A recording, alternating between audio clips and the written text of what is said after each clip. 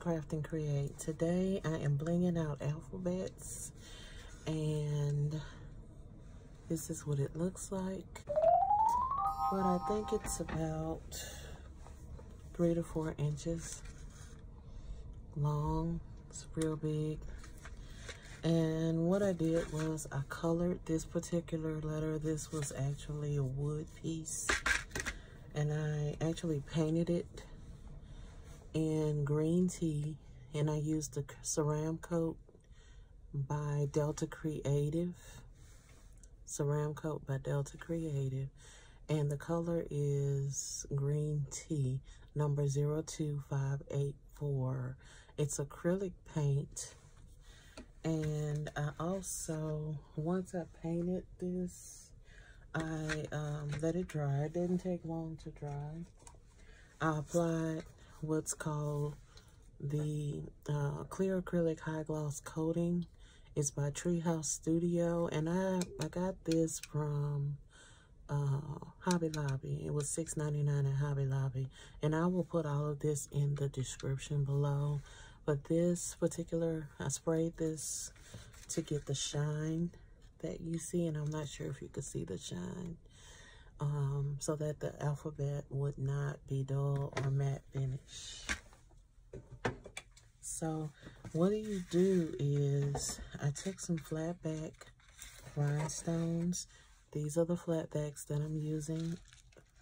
This is the particular rhinestones that I'm using, and it's called In Bloom.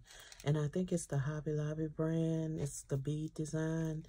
Um, it says it's $15.99 a pack, but you have the 40% off Hobby Lobby coupon. And I think I purchased these. I've had these for a while. I think I purchased these not even with the 40% off coupon. I think these were like 50% off on sale. So I just got the big bucket of different size flatback rhinestones. So that's what I'll be using. I'll also be using some Nuvo glitter. It's called Silver Tinsel. It's the Pure Sheen glitter um, by Nuvo. And that's what we're going to use. I'm also using my Pick Me Up tool by Silhouette. So, also, to put the, the letters on, I am going to use the tacky glue, um, Aleene's tacky glue, for, to put the actual rhinestones on, not the letters on. And then to put the glitter on, I just used um, a measuring spoon and I took the end of my um, pick-me-up tool and I just kind of laid it out all over. And then once I do that, I take my brush and brush it off of the glitter. And that gives it a paved look. I only do that on the bottom part of the alphabet. Let me show you what the V looks like. This is one that's complete with the out with the rhinestones. This is the letter V. You do the pave part at the bottom, and then you kind of stagger your rhinestones throughout the alphabet. And this is a project that I am working on for my niece. She's having a baby girl, and her name is going to be Ava. And this is what she's work, what I'm working on for her. So, I just wanted to show you guys how I go about doing this. I'm going to take my pick-me-up tool and I'm just going to kind of stagger these rhinestones all over the bottom of this letter A. You pick up your rhinestone, squirt out a piece of glue, I mean a dab of glue, and you stick it on the bottom here. Take a different size, dab.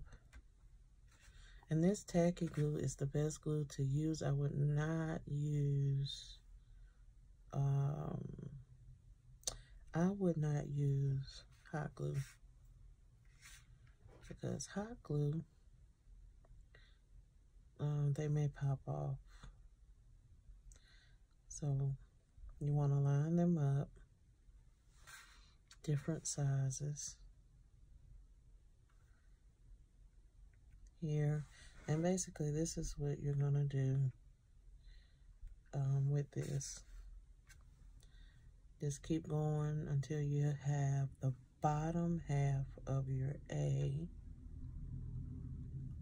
done all the way up to here. So now I gotta fish out some more um, rhinestone flatbacks. I need some smaller ones. Um, that's the most time consuming part is fishing out your flatbacks.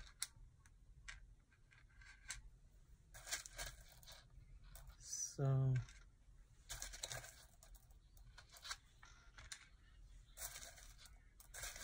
um, excuse the noise in the background. If you hear anything in the background, my kids are roaming the house. And I have asked them to be quiet, but of course,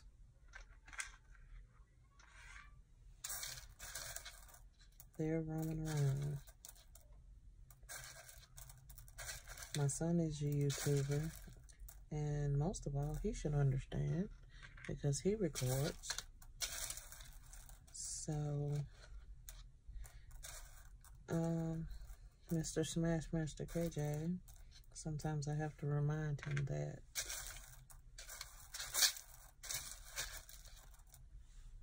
Okay, so now we fished out a few of the smaller rhinestones. So let's put those on with your tacky glue. You don't need a lot of the tacky glue, but you do need enough because what you want to do is you want to leave, I don't know if you can see that, but you want to leave like glue dabbed out around your rhinestones because that's where you're going to pour your glitter on and the, gl the glitter will stick to that excess glue. So you definitely want to put more than enough. Always, also, I learned by trial and error, spray your board, your letters or your wood piece or whatever you're going to use. Spray it, paint it and spray it first. Um, because I learned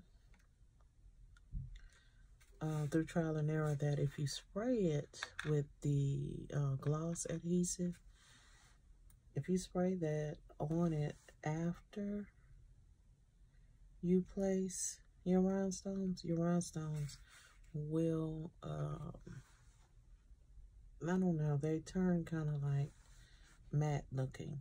They'll get that matte look finish instead of a gloss or shine, should I say with rhinestones. And you don't want your rhinestones to have like a gloss. It it sort of looks like a headlight on an old car. Um, you know, when headlights get old, they start to get um, foggy looking, and that's the way it looks.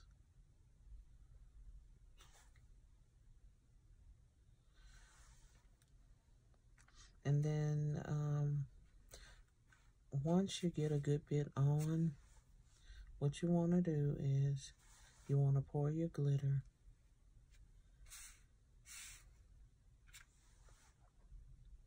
You kind of just putting your rhinestones on random, um, mixing them up randomly to give it that paved look.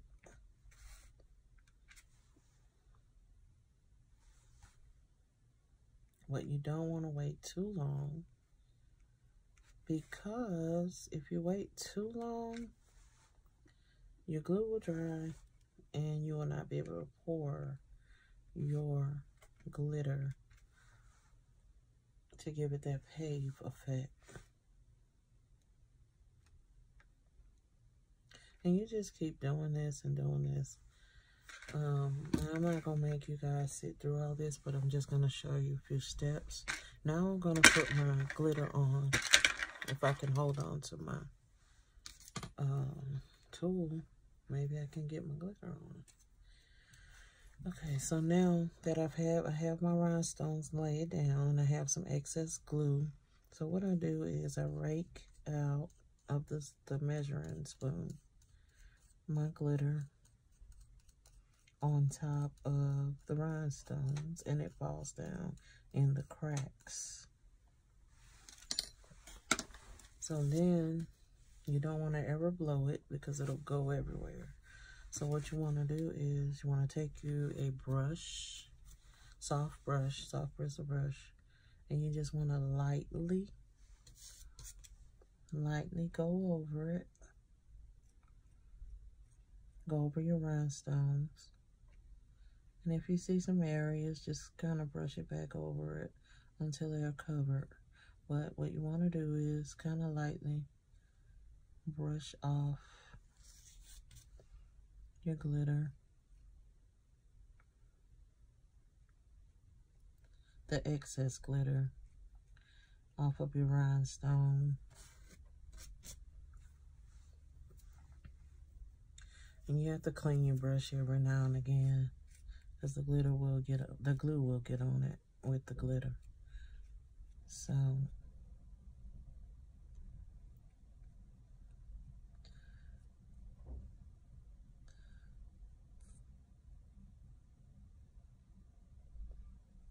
I just brush it off. And I just brush mine to the side. My extra glitter. And I brush it back down into my spoon, my measuring spoon. Just like that. And I keep going until it's complete. So So guys, here's the finished product. I hope y'all like the video. It's very short and sweet. This is a simple, easy project. All you need is some wooden letters um, and some pearls or either some rhinestone flatbacks. And it's simple. You need some acrylic paint and some gloss spray to sheen it up and shine that so that it can have a shine. But otherwise, and also you're going to need your tacky glue um, and something to actually put your rhinestones on with, a brush. And I will put all of this information down in the description below. But this is a quick, simple project. And this is for Miss Ava. Um, she's due to be born in the end of April.